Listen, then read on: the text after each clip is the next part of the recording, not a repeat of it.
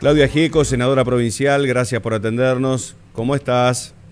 Hola Horacio, ¿cómo les va? Florencia nos acompaña también. buenas tardes. Hola Florencia. Bueno, anda bien el celular, ¿eh? Demasiado, un chiche, che. Sí, bueno, viste, ¿Viste? Bueno. ¿Viste? Las nuevas tecnologías hay que adaptarse, viste que salís por cualquier lado ahora, es así. Totalmente, totalmente. Pues hay que estaba leyendo un poco lo que sancionaron ustedes en el día de ayer, me pareció muy interesante, más allá de los cargos. 1095 cargos a planta permanente en el calafón de salud. ¿Esto se ingresó? ¿Esto se autorizó? Sí, sí, esto está aprobado. lo tiene que promulgar el gobernador de la provincia y posteriormente el Ministerio de Salud tiene que hacer eh, el, decreto con, digamos, los anexos de quiénes serán las personas que van a ocupar estos cargos para que se haga efectivo. Por supuesto que son cargos profesionales que después se deben concursar, ¿no? Ajá, tienen que concursar estos 1095 cargos. Sí, es no es que, entran por la ventana a concurso, se habilitan. Son profesionales que ya están dentro del sistema de salud, pero están en una situación irregular. Lo que viene a hacer esta ley es a regularizar, digamos, su situación de revista en sus cargos, que posteriormente los cargos de salud, de profesionales, todos se concursan. Eso ya es una responsabilidad del Ministerio de Salud.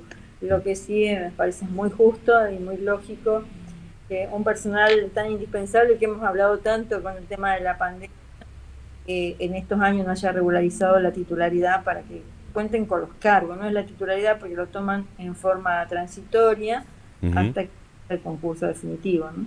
Está bien. Otro de los temas que me llamaba la atención es la delimitación, y estaba viendo nuevos lugares que por ahí uno no, no los tiene tan registrados, de los ejidos este, locales, ¿no? Sí. Eh, hay varias jurisdicciones de comuna que se dieron cuenta por ejemplo, Comuna Eingefeld, Merú, del departamento de Paraná, Comuna Arroyo Barú, Comuna Colonia Joker de Colón, Gualeguaychusito del departamento de Federación, Comuna Chañar del departamento Feliciano. También parece que no estaba delimitado del todo federal, no sabía yo, que todavía estaba en dudas.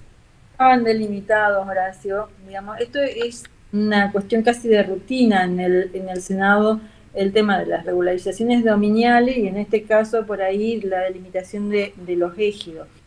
Eh, en el caso de federal eh, se vuelve a hacer una propuesta de remarcar límites a fin de que se puedan generar en la zona de ejidos nuevas comunas, con esta aparición de ese nuevo formato administrativo y jurídico, que son las comunas que tienen fondos propios, digamos, a través de la coparticipación y pueden generar sus propios ingresos, aparece esto de poder generar una nueva comuna. Y esto es lo que hizo Federal eh, a través de una ordenanza, de un pedido del, del, intendente y posteriormente lo toma, digamos, la senadora, de hacer una propuesta de mm, redefinir los límites que tiene la ciudad y todo lo que parte del ejido que era de, de federal pase a ser una nueva comuna.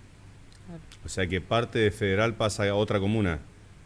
Pasaría para que en el futuro sea una nueva comuna. ¿Cuáles son los compromisos? Que los servicios los sigue dando el municipio de Federal hasta que se convierta esta nueva comuna. ¿No le habrá caído para nada bien a Federal que le saque parte del terreno o no? No, no, sí es un, es un acuerdo que ha tenido Federal con todas las partes políticas. Ah, ok. Para que puedan tener su independencia económica y poder también, digamos, llevarle en forma eh, independiente los servicios. Algo altamente demandado era también los lugares para la orquesta sinfónica, el otorgamiento de los cargos. Finalmente llega el regalo de Navidad apareció para los músicos. Fue, fue muy, muy aplaudido, se ve que era algo muy anhelado también. La venían peleando hace mucho, sí. salud, venían peleándose mucho tiempo, el tema de, de los cargos, sabemos que todos conocemos quién es la sinfónica y bueno, creo que por ahí se hizo esperar un poco, pero creo que no tuvo para nada una mala fe por parte del gobernador. Esto sale como un pedido del gobernador expreso para que se pueda regularizar. Así que había, anoche hubo varios integrantes de la Sinfónica, estuvo su director también, eh, celebrando que puedan organizarse a través ya de sus cargos definitivos y puedan tener su carrera propia dentro de algo tan hermoso culturalmente como es la Sinfónica. Anoche fue una, una, noche, una noche emotiva. Horacio. Sí, veo. Mirá lo que es todo eso. Eso era eh, una barricada, era el Senado. Y, también... Parecía el Mundial. Francia. Premios, estaba la gente del Ministerio de Salud, gente del Ejecutivo. Y, bueno, y también había gente, digamos, independiente porque se generó el colegio, se aprobó ya la ley, era, era una ley del senador eh, Gay, que fue a diputados y vuelve con alguna reforma donde se crea el Colegio de Higiene y Seguridad Laboral, que también era anhelado, no es que ellos no estuvieran incorporados, pero estaban incorporados dentro del Colegio de Ingenieros o dentro de, eh, del, colegio, eh, del Colegio de Maestros Mayores de Obra. Y quedaban muchos afuera. Bueno, son carreras y profesiones del futuro. Nuevas, ¿no? Claro. Qué loco, estamos en colegio de higiene y seguridad y todavía no hay colegio médico, por ejemplo. Ni te hablo del colegio de, ni te hablo del colegio de comunicadores sociales porque para que nos pongamos de acuerdo tres, mm. ya estamos en el horno, pero digo, la de médicos no está. La de médicos, a lo mejor como la de enfermería, tienen otra regulación. Vos pensás que ellos se matriculan todos en el Ministerio de Salud. Entonces, por ahí sí tienen sus asociaciones, la Asociación Médica. Eh, pero no es colegio, es otra cosa. Claro. Colegio, porque por ahí el, el Ministerio, dentro del rol y la función que tiene de, de ser el rector, el de Contralor y el de habilitación, también ejerce, digamos, el tema de la matriculación de los profesionales, tanto médicos como de enfermería. Y creo que esto es una de las cuestiones que siempre se ha discutido mm. y colegios propios. De todas maneras, son temas que se, que se discuten, que están en agenda, porque los hemos escuchado muchas veces, pero hasta el día de hoy no nos ha eh, entrado ninguna propuesta. Sí. hay una propuesta de la colegiación de enfermería que todavía no ha sido tratada. ¿Qué es el CISER que se aprobó ayer? Esto que es Sistema Solidario de Entre Ríos. ¿Qué aprobaron? Sí, ¿qué es el CISER? El CISER es lo que nosotros conocemos por el seguro de vida.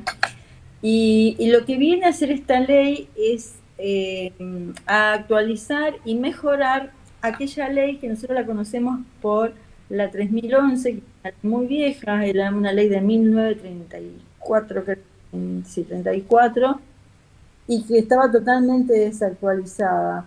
¿Y, y cuál es el, digamos, los elementos que tiene fundamentales esta ley? Que es obligatoria porque eh, todo, todo agente que ingresa a la administración pública cuenta con su seguro de vida. Y es solidaria ¿por porque todos quienes trabajan en la administración pública eh, aportan el mismo porcentaje. ¿Y, qué viene a hacer esta ley? ¿Cuál es el objetivo de la ley? Cubrir las contingencias en el caso de fallecimiento digamos, inesperado de un trabajador. Pero hasta acá no existía eso, que el seguro de vida no estaba tácito eso, Claudia. Sí, sí, eh, el, existía la ley 3011, nosotros conocemos que es el seguro de vida. ¿Qué viene a hacer esta nueva ley? A reemplazar esa ley tan vieja, sí. modernizarla y tener recursos acordes a, a, estos momentos. Ah, eran 2,50. Una actualización. Una actualización en montos ahora. El monto, el, monto va a ser en este momento, digamos, la ley, seis sueldos mínimos ah, claro, bueno, bueno. Eh, para los familiares que, estén como... Chau palito era hasta acá, ahora te entendí. Bueno, Claudia, ha sido muy gentil este, y te, te pido mil disculpas de molestarte en la siesta en esa pasible diamante que seguramente eh, debe estar en, movimiento en breve nada más. Y la eh, está ordenada, estamos muy bien, así que para mí es un placer comunicar con ustedes. Y la verdad que fue una semana muy importante. Senado. Una barricada, che, ¿eh? estaba lindo, parecía tribuna. Tribuna estaba, bueno, eh, son buenas noticias, ¿viste? Cuando pasan, se trabajan proyectos que son de, dignificación para la gente, eso gratifica, claramente. El día martes también sesionamos, hubo sesión dos días seguidos, martes y miércoles, el martes sacaron leyes importantes como el presupuesto. Presupuesto y eh, modificación del calendario electoral. Para, para darle las herramientas al gobernador para el año y eh, darle bien la potestad en el caso a que cambiar la fecha de la Pateamos la pelotita para adelante entre vos y yo, ¿no? Pimba, ¿eh? Me damos un poquito de oxígeno, después mira a Gustavo, agarra la pelota, la pincha, va para el medio, observa para dónde patea, ¿eh? Pim el que conoce más que nada la política y la política. pará, vos tenés que ser políticamente correcta. Yo no soy un desfachatado, así que queda tranquilo, ya me metí el moco yo. Un beso grande. Chau. adiós. Chao, querida. Un beso, Eh, Claudia. Gieco, entonces, senadora provincial, hablando de todo lo que ha acontecido. Bueno, ayer fueron varias cositas, ¿eh? más que Sí. interesantes. Lo otro, el terreno electoral, bueno, claro está. Todo el mundo está buscando a ver cómo continúa esto, sobre todo en cuestiones económicas, y ver qué es lo que pasa ¿eh? el año entrante. ¡Ay!